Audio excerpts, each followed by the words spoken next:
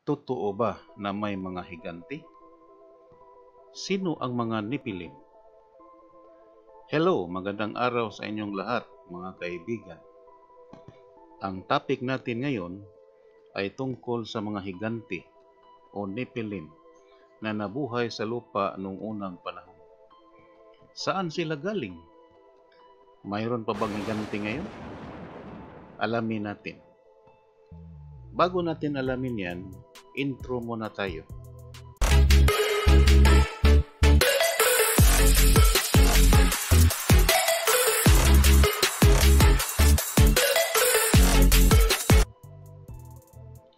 Ang mga Nipilim ay mga higanti, ang mararahas at malalakas na anak ng masasamang anghel at ng mga babaeng tao noong panahon ni Noe.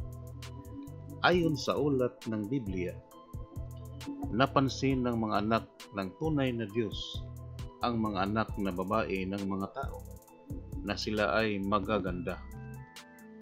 Ang mga anak ng Diyos na ito ay mga espiritong nilalang na nagrebelde sa Diyos dahil iniwan nila ang kanilang sariling wastong tahanang dako sa langit. Nagkatawang tao at kumuha ng kani-kanilang mga asawa ang lahat ng kanilang pinili. Ang dami naman. Hindi ordinaryo ang naging mga anak nila.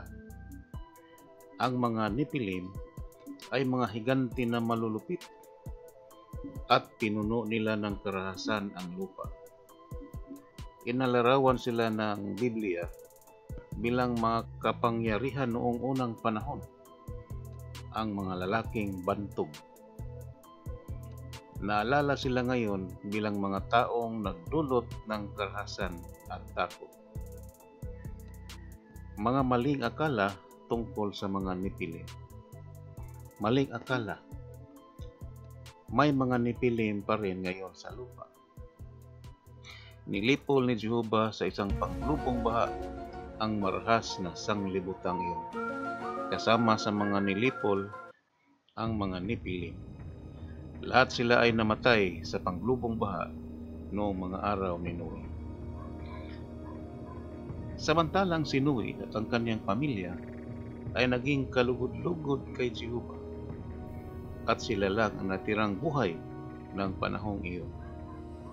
Si Noe at ang kanyang tatlong mga anak at ang kanilang mga asawa, walo silang lahat ang survivor sa panglubong baha na iyon ayon sa Biblia.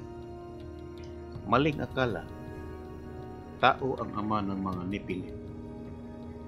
Ang totoo, tinawag ng mga anak ng tunay na Diyos ang kanilang mga ama sila yung mga anghel na kasama ni Satanas na nagrebelde ng Diyos. May kapangyarihan ang mga anghel na nagkatawang tao.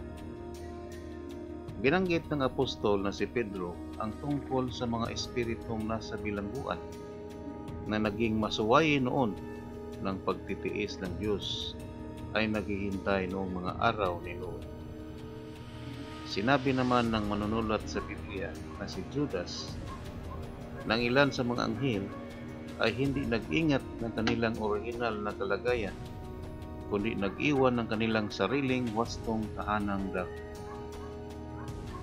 Maling akala, ang mga nipilim ay mga anghel na pinalaya sa langit.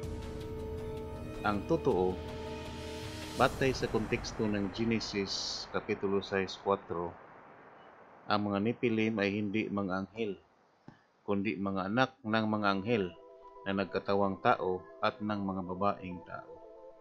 Sila ay mga anak ng mga anghel at babaeng tao dito sa lupa.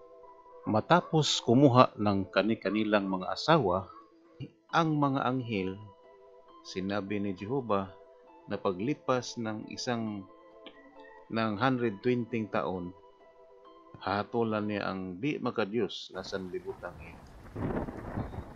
Sinabi rin ng ulat na ng mga araw na iyon, ang mga anghel na nagkatawang tao ay patuloy na sumiping sa mga anak na babae ng mga tao at naging anak nila ang mga mga makapangyarihan noong unang panahon, ang mga lalaking bantog.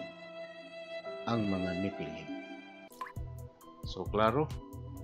So, ang tanong, totoo ba na may mga higante? Yes, mayroon. Sila ay higante na nabuhay noong mga panahon ni Noe. At lahat sila ay namatay sa panglubong baha noong mga araw ni Noe. Sino ang mga Nephilim?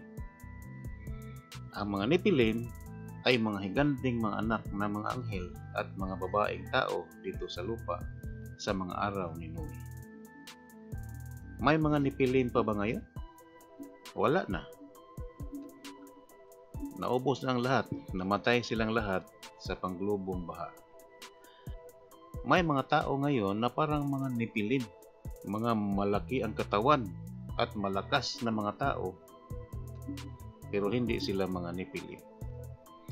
Pwede mong basahin sa Biblia ang asoy ng mga Nephilim dito sa Genesis Kapitulo 6, versikulo 1 hangtod sa 4. Maraming salamat po. Kung magustuhan mo ang video namin, pakiclick mo lang ang subscribe button sa ibaba at huwag kalimutan na i-click ang bell icon para updated ka sa aming mga video. Bye-bye!